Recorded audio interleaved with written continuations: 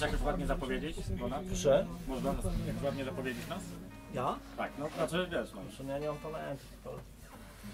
Proszę Państwa, z okazji urodzin Boba Dylana, jego tutaj protoplasta Marcin Piotrowski. Dziękuję. Ludzie tak długo nie żyją. To jest największy honor mojego życia, że usłyszałem te piękne słowa, które właściwie mogę już zejść z sceny w takim razie. Bo ciebie już dawno nie ma. Dobry wieczór. Piękny dzień. Tak jest, to są urodziny Boba Dylana. Dla jasności, wczoraj były urodziny Boba Dylana, yy, ale dzisiaj jest piątek, więc to jest lepsza data, żeby mieć imprezę. Yy, 70. które? Siódme. Tak jest. A właściwie dojdę do tego. No, może tak organizacyjnie. Yy, tam jest toaleta z tyłu. Ten przystojny mężczyzna w czapce, w kapeluszu, podobno jakoś może wam załatwić piwo, ale nie wiem, to jest aktualne czy nie? tak, To jest aktualne. Tak. Ale pra- Anna tam jest jeszcze. Aha, Anna, piękna barmanka, Anna y, obsługuje lodówkę.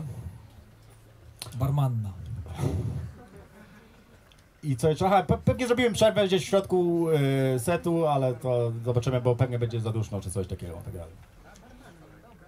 Zatem Bob Dylan urodził się 24 maja e, 1941 roku, jak się okazuje. I e, urodził się w Minnesocie i może, bo ja chcę tylko na, na, chcę zacząć, zacząć tym, y, co było przed Bobem Dylanem. Ponieważ przed Bobem Dylanem jest Ameryka lat y, po, po drugiej wojnie. Protoplasta był. Znaczy byłem ja, ale później był, y, była druga wojna światowa, nie wiem czy pamiętacie. Drugą wojnę światową wi- wiadomo wygrali Amerykanie. I, i zapadła, i, i była pewna idylla y, po drugiej wojnie światowej. Ameryka stała się największym hegemonem, ludzie mieszkali na przedmieściach, robili tanie samochody, eksportowali całe swoje śmieci na cały świat. I w tym, i w, tej, i, i, i, w Ameryce była taka mało miasteczkowa, taka porządna Ameryka. I to trwało z 10 lat, aż przy- przyszedł Elvis, jeżeli pamiętacie Elvisa. Elvis był tym, który jak, za, jak, jak, jak zacząsnął, zacząsnął y, biodrami, to po prostu Ameryka nagle y, zwariowała. I wtedy, wtedy powstał po raz pierwszy tak naprawdę idea celebrity, gwiazdy, rock'n'rolla i tak dalej. I wtedy w pewnym sensie po raz pierwszy młodzież miała na czym, że tak powiem, y, zilustrować swoją rebelię. Miała muzykę do swojej rebelii i mogła zacząć w taką rebelię, taką rebelię stosować, taką rebelię robić. I, I był Elvis, był Chuck Berry, był Richard, był Buddy Holly. Było, jest taka cała grupa, że nagle ni stąd, ni zowąd się pojawiają ci rock'n'rollowcy. I, I nagle ta konserwatywna Ameryka, yy, no, no, zdębiała, no, była zagrożona i w ogóle i tak dalej. Ale tą sprawę bardzo szybko załatwiono. Elvisa, jak wiemy, y, ostrzeżono i wysłano do Niemiec, do wojska. Y, Buddy Holly zmarł w wypadku samolotowym. Chuck Berry wylądował w więzieniu za to, że uprawiał seks 14-latką i tak dalej, i tak dalej. I, a Bob Dylan miał 14 lat, kiedy Elvis Presley zaczął. I dla niego to była naturalna muzyka rebelii, to była jego muzyka. Ale jak mówię, rock and roll bardzo szybko się skończył.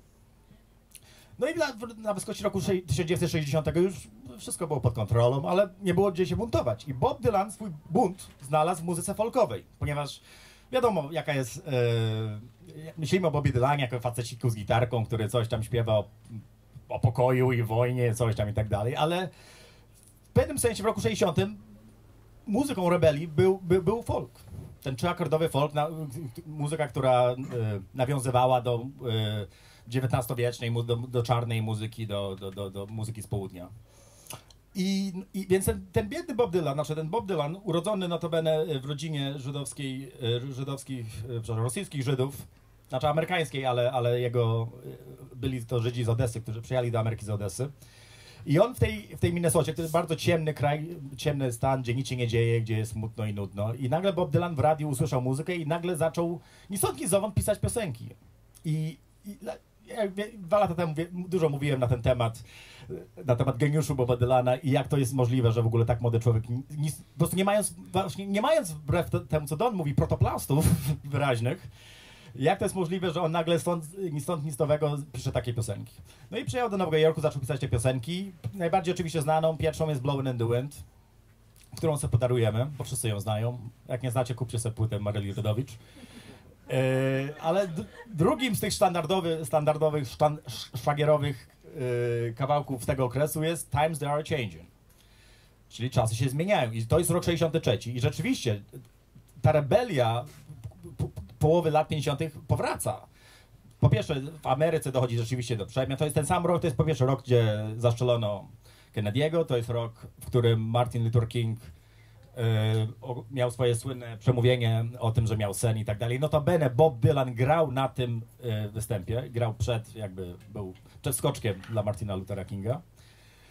E, I rzeczywiście parę tygodni potem napisał tą piosenkę Times Are Changing. I ludzie mówią, i są ludzie złośliwi, którzy mówią, że to jest trochę cyniczna piosenka. Jest taka, taka słynna anegdota, którą nie powinienem cytować, ale zacytuję. Że jakiś jego kolega e, zobaczył, przyszedł do niego do domu i mówi Stary, co to za, co, co, to, co to za gówno piszesz w ogóle?